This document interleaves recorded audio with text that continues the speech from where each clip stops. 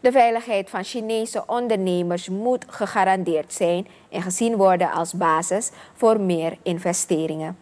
Dit zegt VHP-parlementariër Xuangroy Wang aan onze nieuwsdienst in reactie op de vele overvallen op Chinese ondernemers in de afgelopen periode.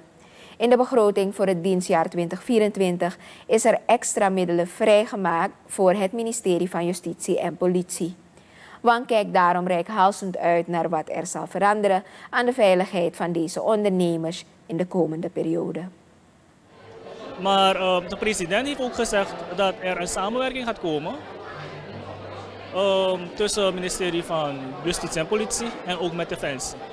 Dus ik kijk naar uit. Wat belangrijk is, is dat we het zien en voelen dat het daadwerkelijk een verandering komt.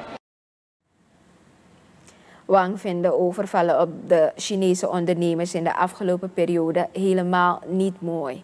Als lid van de vaste commissie van Economische Zaken zegt hij dat dergelijke criminele daden maken dat ondernemen onaantrekkelijk wordt voor deze doelgroep.